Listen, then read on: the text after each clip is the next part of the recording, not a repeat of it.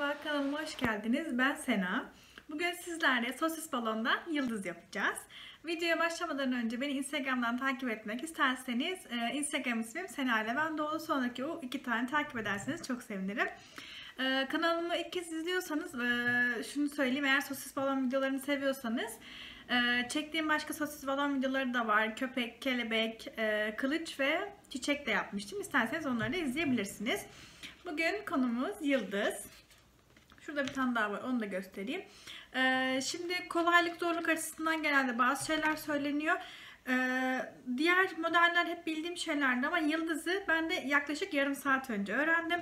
İlk yaptığımı yanlışlıkla patlattım düğümlemeye çalışırken. O yüzden ilk yaptığımı gösteremiyorum. Bu ikinci yaptığım. Gördüğünüz gibi sadece e, küçük bir e, dengeleme problemim oldu. Tam böyle düz durmuyor. Nerede hata yaptıysam. Ee, bu ikinci yaptığım. Yani siz de çok rahat yapabilirsiniz. Onu söylemeye çalışıyorum. Bu da ikinci yaptığım ve bu da üçüncü yaptığım. Şimdi aralarında şöyle küçük bir fark var. Onu da size söyleyeyim. Ona göre e, siz de yaparken karar verirsiniz. Şimdi bu yaptığımı dört köşeli olarak yaptım. Bu yaptığımı 5 köşe, köşeli olarak yaptım. 5 köşelinin duruşu bence daha güzel. Ama yapması bir tık daha zor. Çünkü e, tam ne kadar şişireceğinizi ve ucunda ne kadar ip bırakacağınızı ayarlamanız gerekiyor. O yüzden e, ikisini de deneyin. Yani güzellik açısından ikisi de güzel.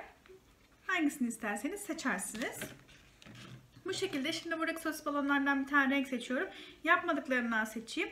Şu açık yeşili kullanabiliriz. Hemen yapmaya başlayalım. Öncelikle bir adet pompaya ihtiyacımız var. Sosis balonları şişirmek için. Çünkü onları e, şişirmek pek ağzınızla falan yapabileceğiniz bir şey değil. Pek mümkün değil. Normal e, pompalarla da şişmiyor. Bunların kendi pompalarıyla şişirmeniz gerekiyor. Şu şekilde şişiriyoruz. Şimdi ayarlamaya çalışacağım. E, yani 5 köşeli olarak yapmak istiyorsanız bence şu kadar yeter diye düşünüyorum.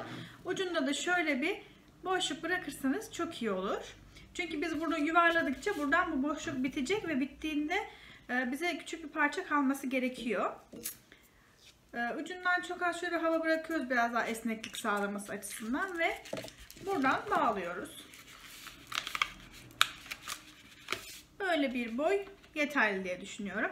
Karışık değil ama dikkatli izleyin. Bir de e, benimle birlikte aynı anda yaparsanız çok daha kolay öğreneceğinizi düşünüyorum. Şimdi her parçayı önce ayrı ayrı oluşturuyoruz. 4 tane. Burada e, dikkat edeceğiniz sadece şu var. Yaptığınız yuvarlakları eşit yapmaya çalışın. Yani az çok eşit olsun. Çok böyle milimetrelik tabii ki e, uğraşmanıza da gerek yok ama birini çok küçük, birini çok büyük gibi yapmayın. Şimdi ben 4 başlıklı 5 başlıklı olduğuna sonuna göre karar vereceğim. Sonunda çok boşluk kalmasa 4'te bitiririm. Kalırsa 5.ye çıkarım. Şimdi bu şekilde 4 tane yaptınız. Şöyle güzel yuvarlayayım. Daha sonra hep buradaki e, kalacak bu şekilde yapacaksınız. Bu en sağdaki kalıyor. Ve bunları kendi arasında bu şekilde çeviriyorsunuz. Kameraya bakarak yapmak biraz da e, zor oldu. O yüzden şurada küçük bir sıkıntı oldu. Normalde yapması daha kolay. Bir yandan da kamerayı anlattığım için biraz zorlandım ama bu şekilde bir şey elde ediyorsunuz. Şimdi tekrar başlıyoruz. Bir. Şöyle iki. Şöyle üç. Ve dördüncüyü de yaptım. Yine en sağdaki kalıyor. Bu üçlüyü böyle getirip çeviriyoruz.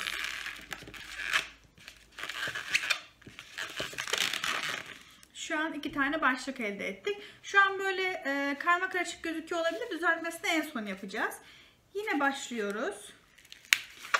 Bir. İki. Şöyle üç. Ve dördüncüyü de yaptık. En sağdakini bırakıyoruz. Şu şekilde yaptık. Böyle arada elden kaçabiliyor. bu şekilde çevirdik. Kaçıncıyı yaptık? Üçüncüyü yaptık. Şimdi dördüncüyü yapıyorum. Beşinciye e, bu arada gösterdiğim gibi ilk başladığımızda burası daha uzundu. Şimdi yaptıkça kısaldı. O yüzden onu ayarlamak yani önemli kısmı. Üç tane yaptık. Dördüncüye geçiyoruz. Başladık yine. Bir. iki, Üç.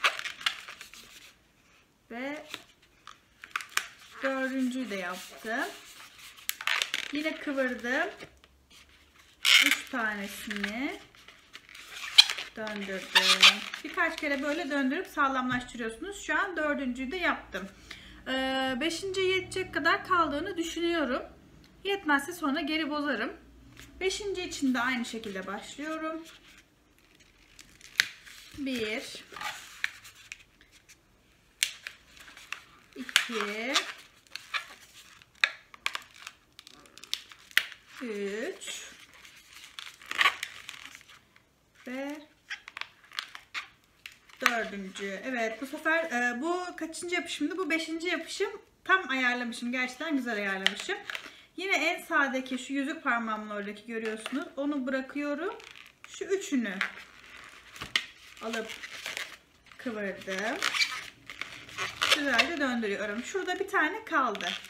O kalanı çok dikkatli bir şekilde kesiyoruz ki buradan direkt böyle yaparsak balonu patlatırız. Şu uç kısmını kesiyoruz.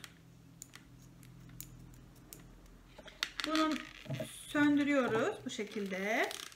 Ve ilk e, yaptığımız düğümün olduğu yere getiriyoruz bunu. Bu ikisini birbirine bağlıyoruz.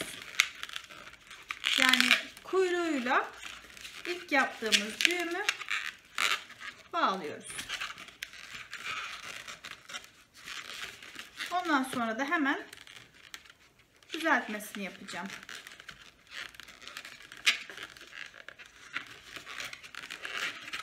Evet düğümümüzü attık. Şimdi şöyle bir şey oldu elimizde. Şurası burası orta kısım. Bunları bu şekilde ayarlıyoruz.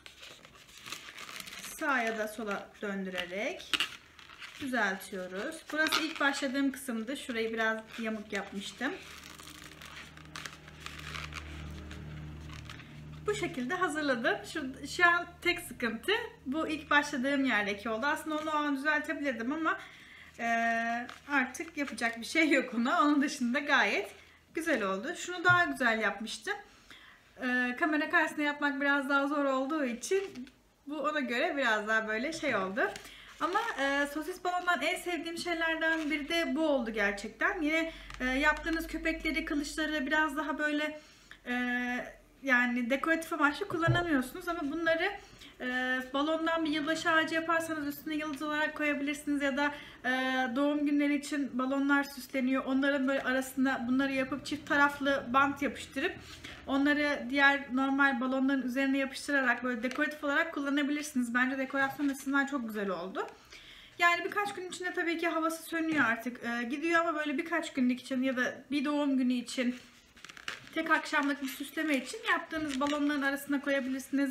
Ya da bu şekilde e, çift taraflı bant takarak yine duvarlara yapıştırabilirsiniz. E, çok güzel bir balon dekorasyonu olacağını düşünüyorum.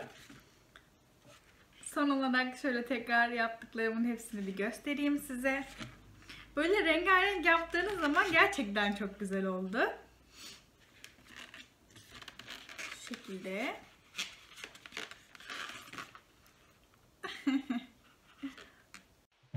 Sonuna geldik. Beni izlediğiniz için teşekkür ediyorum.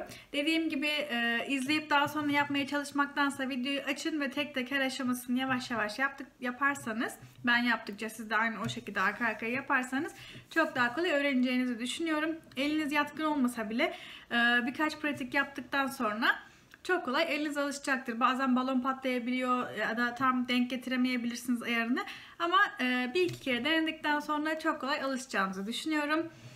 Ee, dediğim gibi beni Instagram'dan takip etmeyi unutmayın. Sorabil soracağınız bir şeyler olursa da sorabilirsiniz tabii ki. İstediğiniz her konuda yazabilirsiniz. İzlediğiniz için teşekkür ediyorum. Lütfen abone olmayı da unutmayın. Bir sonraki videoda görüşmek üzere. Hoşçakalın.